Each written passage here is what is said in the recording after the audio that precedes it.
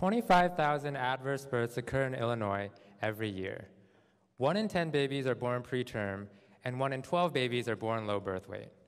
Our team at Data Science for Social Good is working with the Illinois Department of Human Services to predict and reduce adverse births across the state. Now, what exactly is an adverse birth? An adverse birth, by our definition, is if you were born too early, too small, ended up in the neonatal intensive care unit, or died within your first year of life.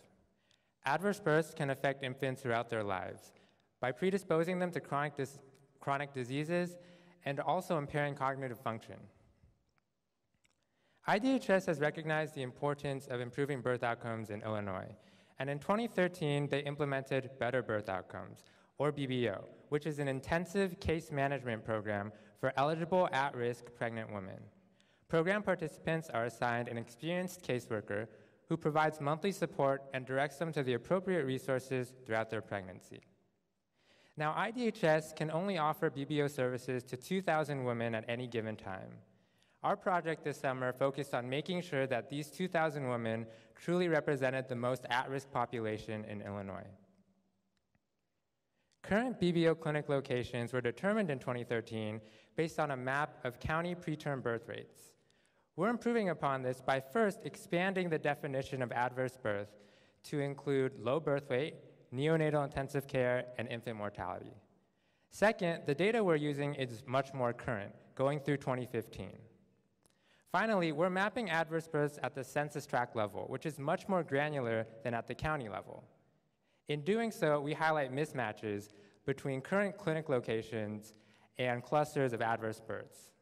We believe that this will help IDHS achieve a better understanding of where the highest need areas are so that they can deliver BBO to the areas that will benefit the most. Once IDHS figures out where the most at-risk women are located, they have to figure out at the individual level which women to offer the program to. Currently, they use a 17-question evidence-based assessment that contains risk factors such as substance abuse during pregnancy or whether a woman had a previous preterm birth. Now, not all of these factors are equally predictive.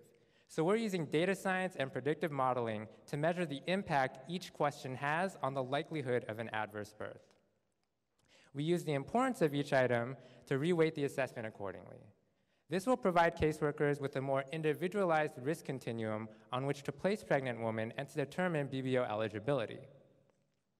We estimate that our approach can be up to 1.5 times as accurate as the current strategy.